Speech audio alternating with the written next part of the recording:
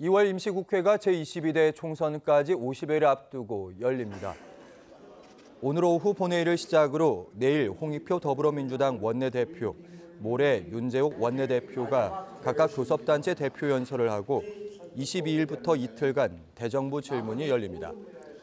29일엔 법안 처리를 위한 본회의가 열릴 예정인데 총선 선거구의 획정 처리와 김건희 여사의 주가 조작 의혹과 대장동 개발 사업 뇌물 의혹을 각각 수사할 특별검사의 도입, 이른바 쌍특검법의 재표결 여부를 두고 여야의 충돌이 예상됩니다.